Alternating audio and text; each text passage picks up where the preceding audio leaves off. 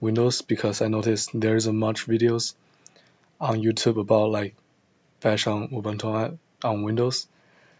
And for this video, I'll basically show you like what bashes look like and also how to have a GUI. So first, open the command line, then bash. Then you are in the Ubuntu subsystem. And what you can do is basically everything. So cd, then even like integrate a vim. So you can have vim write a file. Maybe uh, then edit it save it. It's there. And also you can access this file from Windows or the terminal or the Ubuntu subsystem because so like you can treat, treat bash as a it's a subsystem, so like the file file is shared between each of them.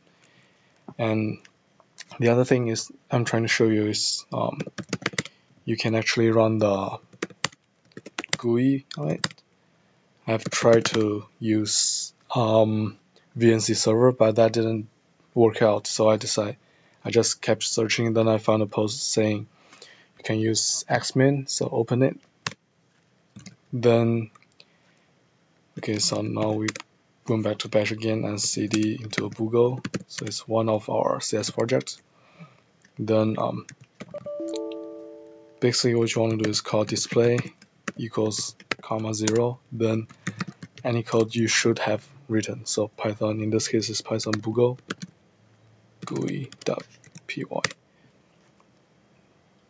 Then you can see the win the window is pop out in the Windows 10 and you can have some interaction with it. Uh, new game, give up, quit. Yes, and that's basically it. So, thanks for watching, and if you have any question, I guess you can ask me. Even I'm a, as my name, I'm a noob. And also, um, if you went to my blog, there should be some more like things you might care about maybe how to like reinstall bash if you mess up your system. And yeah that's it. Thanks